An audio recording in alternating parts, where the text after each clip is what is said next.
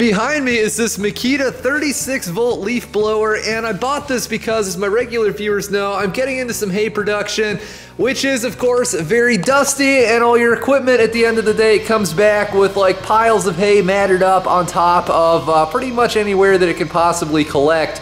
Now, different people will tell you there's different ways to that are good to, for cleaning this up, and the general consensus is anything with water is to be avoided because if you take a pressure washer or something, you can wash the grease out of bearings and whatnot, and um, you know, and it leads to rust and it can cause bearings to go out and whatnot.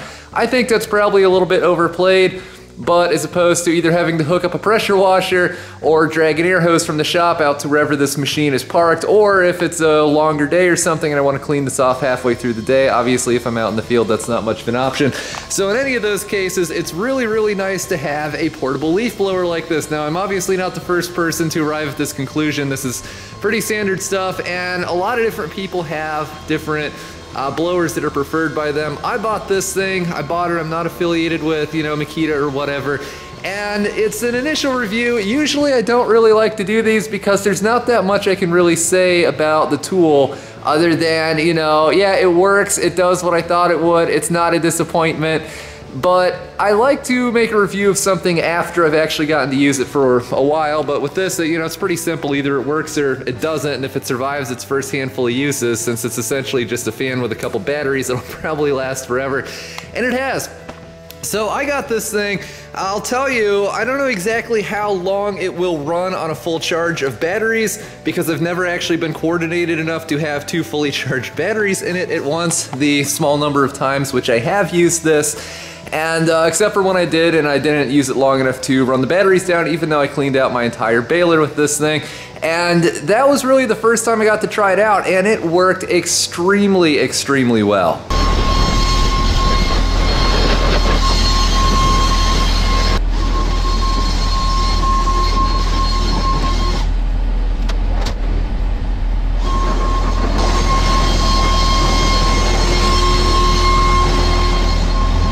Not only did I use this on my baler, I also used it on my 7 foot rotary shredder and it kicked up so much dust and removed so much material so quickly if you saw it from a distance and didn't know what was going on, you would have thought the house was on fire.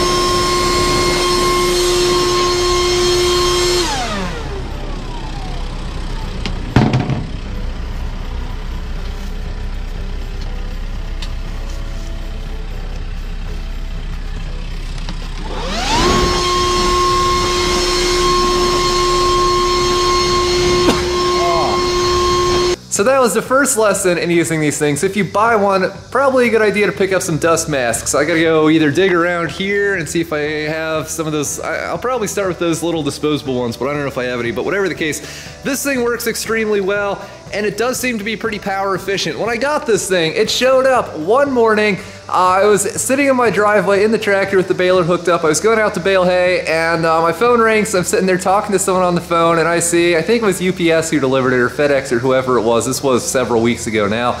Uh, they slow down. I'm like, hey, I bet my leaf blower's here. And sure enough, it was. So while I'm talking on the phone, I, uh, I unbox this thing, I get it set up, and I see that the batteries, this particular package comes with four batteries and the charger as well, which in my case is over here. Uh, and it, it, works out really well because this way you get two batteries that can sit on the charger and go with you as extras, you know, if you wear down the two in the machine and, you know, you have the other two in the machine itself. But whatever the case, I get this thing and I see that each of the batteries, they arrive with only a quarter charge. But I say to myself, well, I'm leaving, so I might as well take this thing with me, right? and I'm glad I do. I put this in, that's the other thing. This thing rides in a steel box on the back of my baler that anyone familiar with uh, round balers would know this is where, at least on a New Holland machine, where you're supposed to store the extra net wrap. My net wrap is too wide to fit in there, however, so therefore I put this thing in there and usually an extra fire extinguisher as well. So it's banging around in there and every time the baler the tailgate goes up to drop a bale, this thing like goes up with it and it's rolling around in there and it seems to be holding up just fine. It's not ideal, but that's really the only place I have to take it with me and as you can see it gets kind of dusty, but it doesn't seem to care. But then again, I haven't used it that much.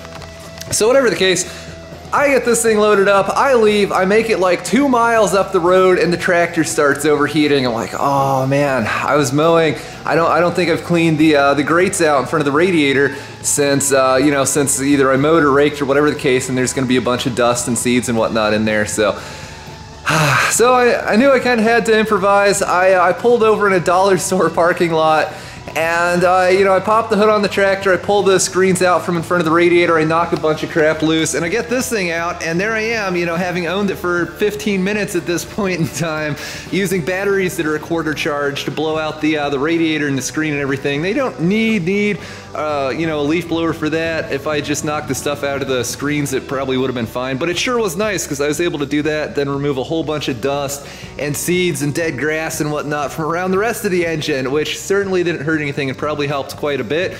And even with these batteries being at the time a quarter charge, they uh, they had the power and the longevity to get through cleaning that as well as I wanted to. And then I went about the rest of my day and everything was great. And for whatever it's worth, this is my random review for you guys for the day. I hope you've enjoyed it. Don't forget to rate, comment, and subscribe for more. The Makita, whatever model this is, two battery leaf blower thing, two thumbs up. I can only do one because you know I'm holding the camera with the other. Uh, I'll put some links in the video description. If you guys do decide to buy this on Amazon, the link to that is of course an affiliate link. So if you buy any, that, this or anything else on there, the channel earns a small commission, helps make non-sponsored content like this possible. But whatever the case, um, yeah, I mean, it helps out, it's appreciated. Uh, but, you know, I don't make a living off of affiliate links for leaf blowers, so whatever, and I bought this because I needed it. But anyway, thanks for watching. Don't forget to rate, comment, and subscribe for more. If you do end up with something like this, remember your dust masks. and uh, have a great day, everyone.